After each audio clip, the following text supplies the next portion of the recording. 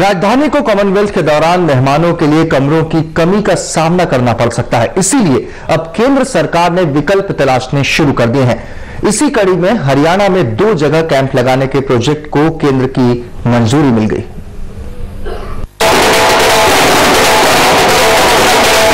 Commonwealth खेलों को लेकर केंद्रीय पर्यटन मंत्री कुमारी शैलजा काफ़ी जोश में हैं।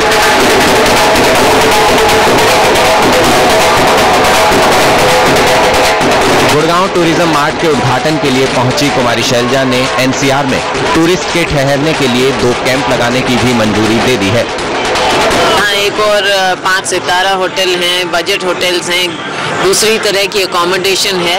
एक और प्रोडक्ट हो कैंपिंग साइट्स हो टेंटेड अकोमोडेशन हो, और हमें खुशी है कि हरियाणा ने इसमें पहल की। है, सात करोड़ के करीब रुपए हम देंगे।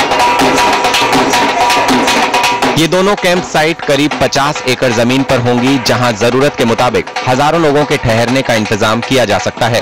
केंद्र सरकार ने कॉमनवेल्थ खेलों के दौरान होटल के कमरों के लिए दिल्ली के विकल्प तलाशने शुरू कर दिए हैं, और एनसीआर इसके लिए तैयार भी नज़र आ रहा है।